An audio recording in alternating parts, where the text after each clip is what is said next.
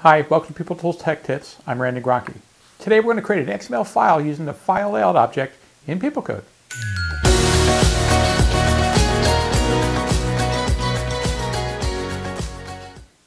So creating an XML file with the file layout object. Pretty straightforward. We're going to create a row set using records that replicate basically the structure of the XML file that we want to output. Okay. Then we're going to create a file layout object and inside that we're going to replicate that same data structure as the row set inside there. In our code, we're going to load up our original row set, massage the data as needed, then we're going to instantiate a file, assign our file layout object to that, then extract the row set out of it. Then copy the data from one row set straight over to the other row set in one command. Write file, close the file, and we have everything we need. So why not use PS Query? Well, I've already ranted about this, but let's make it real quick.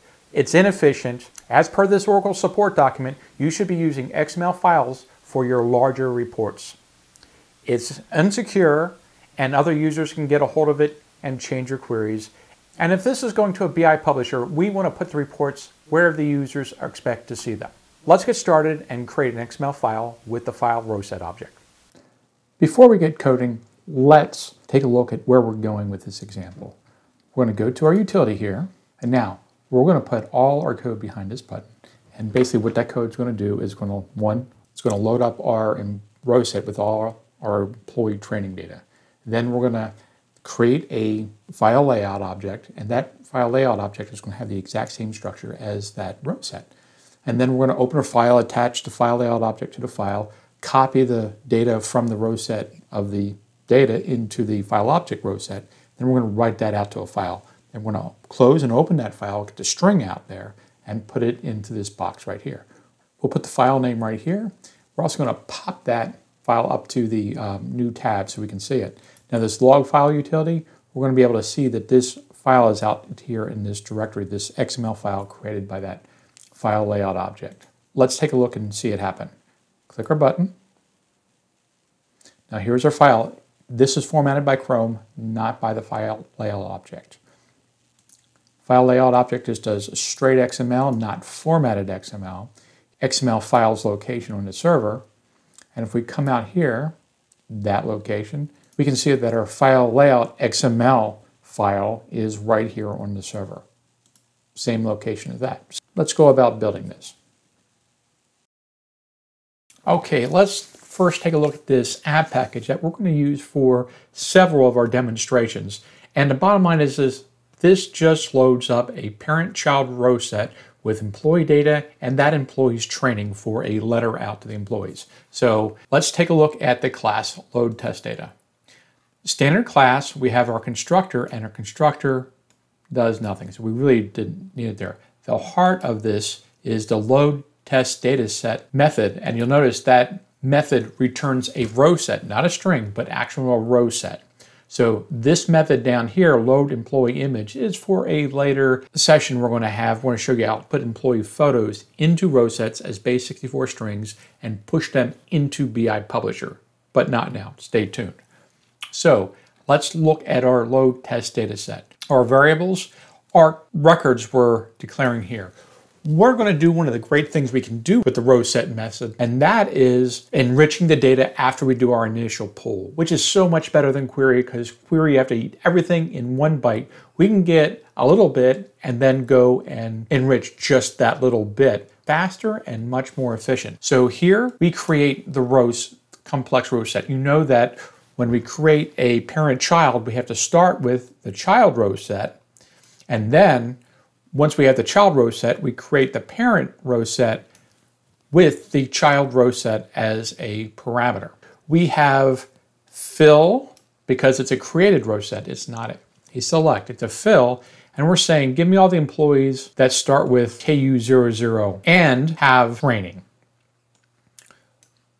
Now, once we have that parent filled, we have all those rows, but none of our child row sets are populated. So let's go each one in turn for i equals one to row set employees active row count. And for each row of the parent, we're going to come down here, get the child row set, and then fill that row set where the employee equals the parent. So here's the cool stuff. Just to show you some examples, this maybe not the best example, but we can do it here. Get data from other records per each record and row and start populating that where it's significant to that data. Here, we're getting some job information for that employee. Okay, here, we're getting some location information for that employee. We're going to location table, put the location information, get select by key effective date, and then we're setting the location description to description from the table. All right, some company information, the company description to put it in there.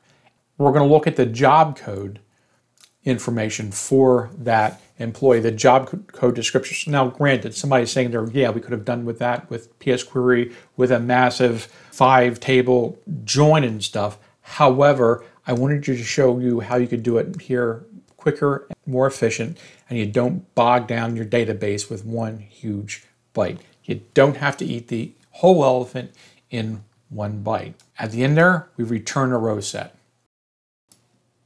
We're going to create our file layout definition now. New file layout.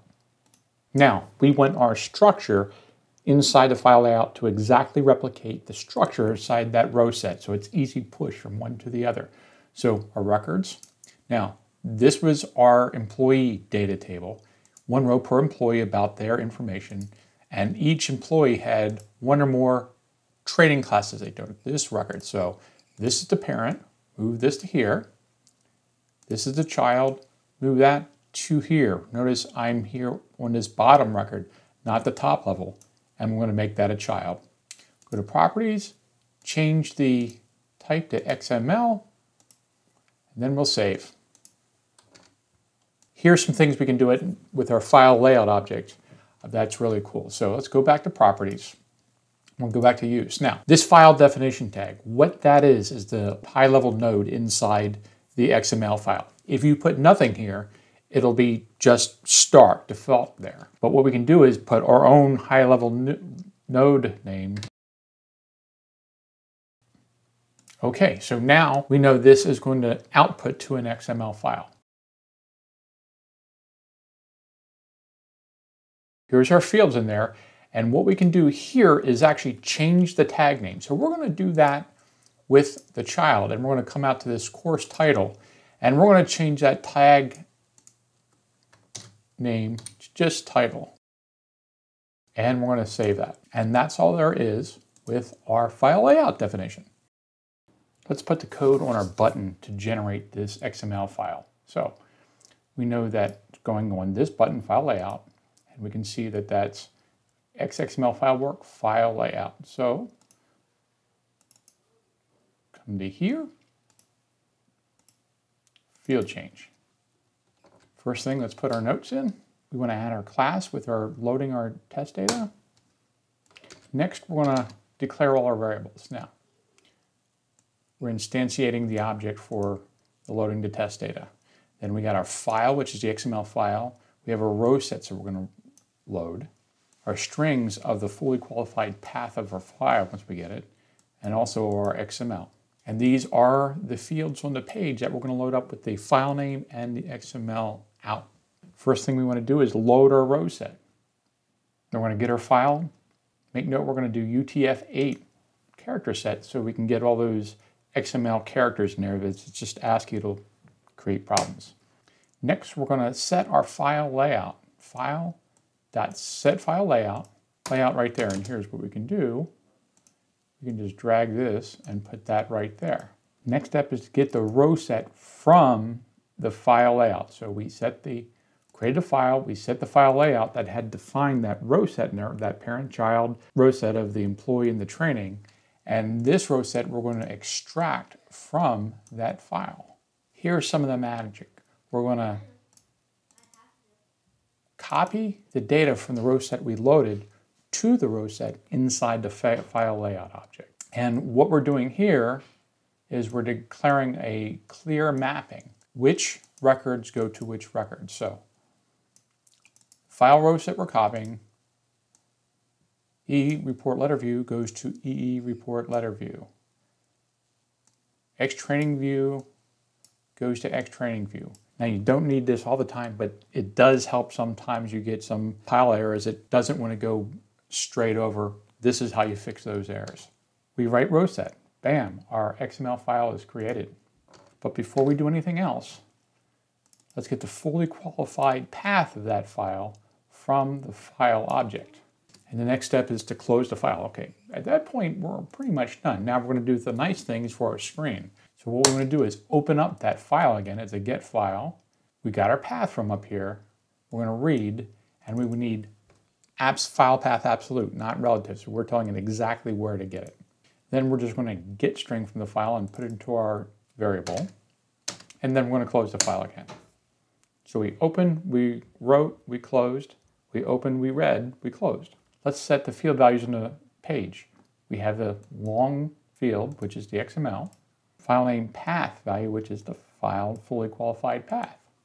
Now the last thing, just for this demonstration, we're going to pop that file we just created up to a new tab. So we'll use the put attachment for the fully qualified path. We'll put into our file attach custom record out there. Next thing to do is save, clear your think time, Last thing to do is do a view attachment and pop that up. At this point, we're done. Okay, let's see our code in action. Okay, there's our button. Here's our file, again, formatted by Chrome. There's our title tag that we changed from course title. Come back to here to our page. We have our XML string as the file layout created it, and we have our fully qualified file name. Go out to our files, there's our file layout.xml, which is our file same as that. Let's review real quick what we did. We created some row sets, we loaded them up. We created a file layout object, and that had the same exact data structure as those row sets. We copied the row sets over to the file layout object, we wrote our file. Then we could pull the XML string out of the file, put it on a page, we could get the fully qualified file name from the file object, and we could see that that file was written to the server. We popped it up and saw the XML in a new tab. You have everything you need to create an XML file with the file layout object. Now, all our PeopleTools projects and guide on what we did today is on peopletoolstechtips.com. Look for the blog post talking about creating an XML file with the file layout object. Like and comment below. Please consider subscribing to our channel. We'll see you next time here on PeopleTools Tech Tips.